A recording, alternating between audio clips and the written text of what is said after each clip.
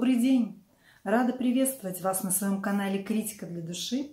Меня зовут Жанна Мурахина, и сегодня я вам расскажу о сериале «Сиси», первом сезоне, шестисерийном, снятом в 2021 году, производство Австрии и Германии при участии Латвии и Литвы.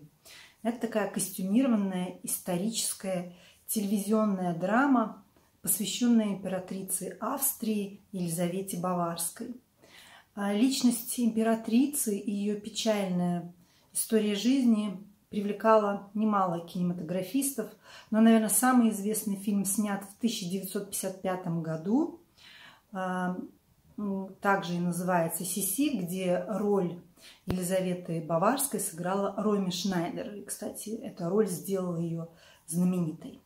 Ну, вот этот фильм я не смотрела, может быть, стоит посмотреть для сравнения. А сегодня я бы хотела несколько иначе рассказать о фильме, расставить другие акценты. Меньше внимания уделить, может быть, актерскому составу, своим впечатлениям о фильме, а больше обратить внимание на места съемок.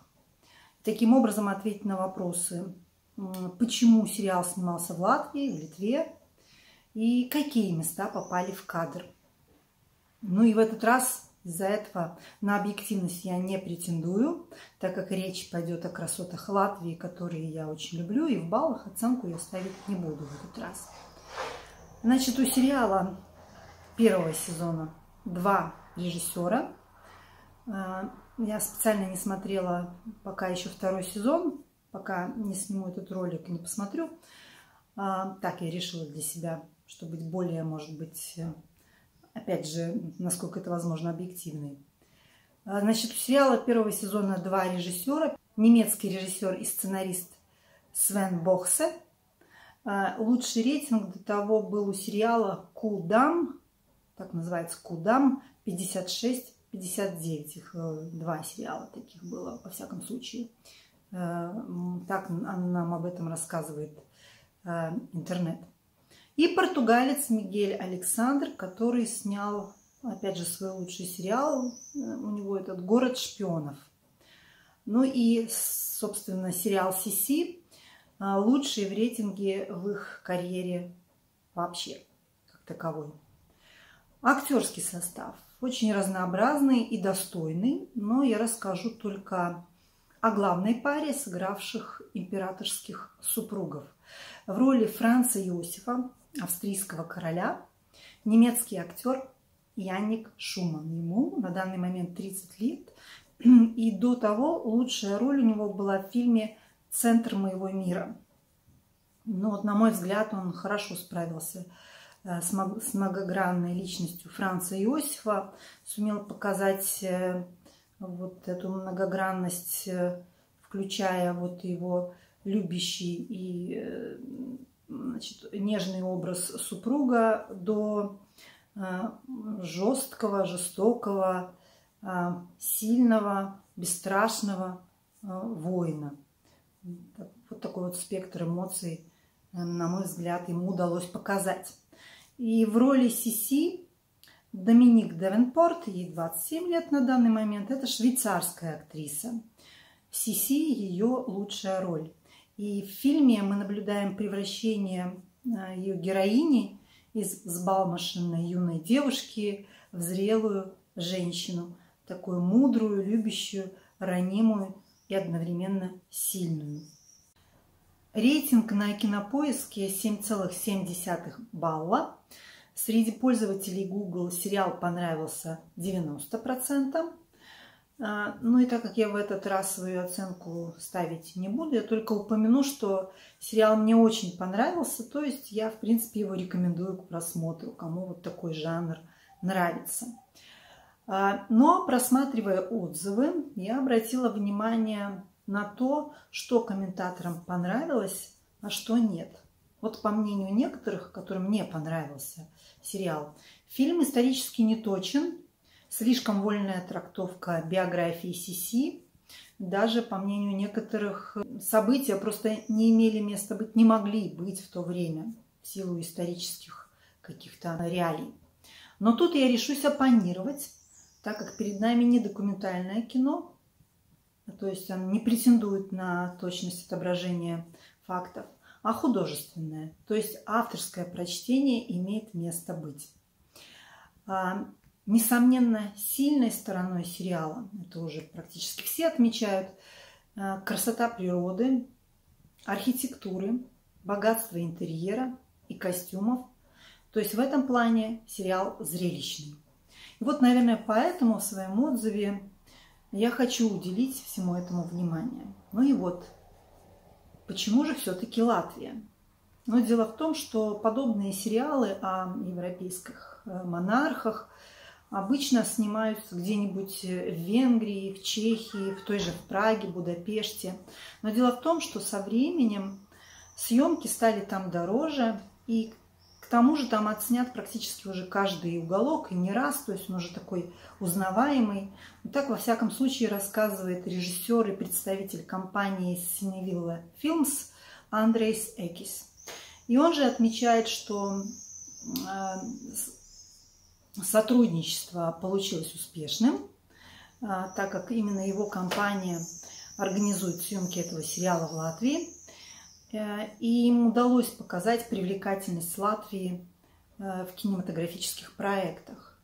К слову, э, сегодня кинематограф в Латвии оставляет до 15 миллионов евро в год, что для такой маленькой страны очень неплохая сумма, на мой взгляд.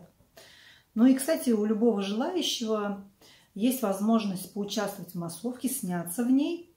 Ну, стоит только отправить соответствующую заявку на определенные сайты, а, так как сегодня в Латвии снимается достаточно много фильмов. Хочешь – участвуй, хочешь – нет. Ну а далее я расскажу, какие места и достопримечательности использовались для вот конкретно съемок этого сериала. Начну с Латвии и справедливости ради упомяну Литву. Итак, Рига, которая наравне с Вильнюсом сыграла роль столицы Австрийской империи Вены. Можно сказать, что практически все, но во всяком случае очень многие достопримечательности Старой Риги мелькнули в кадрах. Это и дом латвийского радио, здание построено в юген-стиле, как и многие здания в Риге. Там же здание Рижской биржи на Пилс-Ела или на Дворцовой улице по-русски – конце которой высится голубой шпиль церкви Скорбящей Богоматери. Вот по этой улице как раз и проезжала карета. А, съемки также проходили у церкви Святого Якоба. И там же неподалеку располагаются три брата. Это таких три дома средневековой постройки. Ну а также у церкви Святого Петра, шпиль которой э, не, не так легко поймать в объектив – так как высота церкви достигает 123 метров. Когда-то это было самое высокое здание в Европе. Ну и, конечно, некоторые другие объекты Старой Риги, которые просто все тут не перечислишь.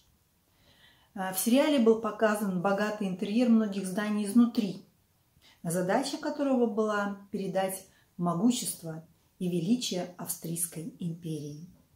Ну, например, внутренние помещения Латвийской национальной оперы. Коридор, ведущий в билетаж. Кафе с выходом на балкон. Тот самый, который в фильме используется в сцене появления Франца Иосифа и Елизаветы к венгерскому народу, и где антимонархист пытается зарезать императора. Наверное, помните. Ну и роскошные помещения Малой гильдии – это гильдия ремесленников в неоготическом стиле, а, где вы видите шикарные витражи, стрельчатые окна, деревянная отделка, а также большой гильдии, купеческой, а, более богатой. Эти сводчатые крестовые потолки с нервюрами в готическом стиле вот именно находятся в большой гильдии. Ну, красота. Эти помещения использовались в фильме для отображения интерьера Лаксембургского дворца ну, в сериале. А, в свою очередь, помещение Национальной оперы, а также Дома Латвийского товарищества в Риге, построенного в стиле неоклассицизма, превратились в Королевский дом венгерского короля в Буде. Эти белоснежные изысканные помещения, несомненно, очень привлекательные, мне кажется, очень подходящие. Кроме в Риге, в сериале были показаны и другие места э, Латвии. В основном это замки и дворцы. Ну, например, знаменитейший Рундельский дворец и парк известного архитектора Растрелли «Жемчужина барокко». А, сыграл, сыграл роль Хофбургского дворца династии Габсбургов. А, в сериале использовался и белый зал, и золотой зал, и переходы с лестницами.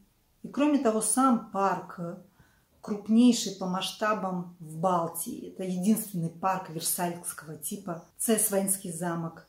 Шедевр эклектики. В 2002 году, кстати, пережил крупный пожар. Сгорела крыша, полностью восстановлен был в 2022 году. Вся Латвия, помню, переживала по этому поводу. Ну, сами видите, какая красота. Находится в живописном месте, но если в фильме мы видим вдали горы, то на самом деле местность слегка холмистая. Эдельский замок – это такой средневековый дворец, построенный в XIII веке и в сериале играл роль дома родителей Сиси. А в 1905 был сожжен и разграблен, как и многие другие замки и поместья Латвии, но, как видите, а, восстановлен. Лелпстраусский замок и церковь. Он расположился в самом маленьком ганзейском городе мира, а, ну, где вот мы видим дворец рижского архиепископа, построен в Средневековье. Ну и кроме того, в Рижской киностудии были построены масштабные и грандиозные декорации на площади 2000 квадратных метров для трех разных дворцов. Из Польши были специально доставлены исторические кареты. Латвийские швеи э, пошили несколько сотен костюмов и мужских, и женских.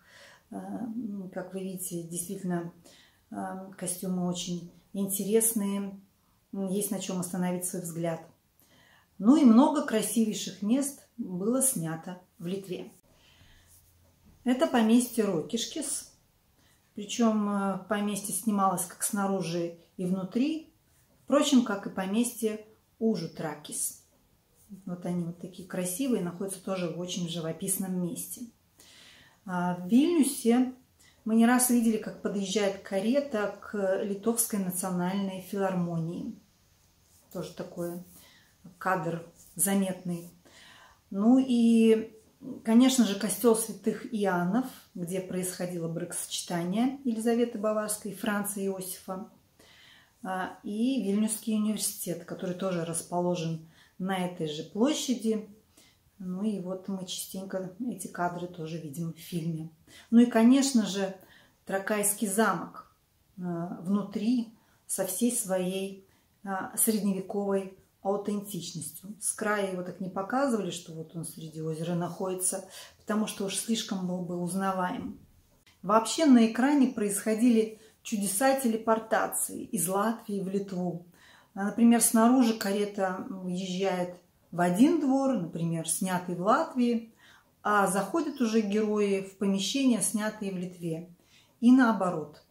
Мне даже трудно представить, как вообще все это можно было осуществить, во сколько это обошлось, сколько это заняло времени, э, перевозок и так далее. Ну и, ну, на мой взгляд, поэтому э, фильм так и смотрится, так его оценивают. И, как я уже сказала, лично мне сериал очень понравился – я собираюсь смотреть вот на днях э, второй, второй сезон. Ну, может быть, о нем я отзывы оставлять не буду. А, там я только могу сказать, что и второй сезон снимался и в Литве, и в Латвии, а вот третий сезон снимается полностью в Латвии на данный момент. И там, э, кстати, в, э, в этих сезонах участвуют уже некоторые другие достопримечательности. Но если вдруг вам захочется, то я могу такой фильм снять и об этом. Ну, на этом, наверное, все. А, говорю вам до свидания. Пишите отзывы, ставьте лайки, подписывайтесь на мой канал. И до следующих встреч.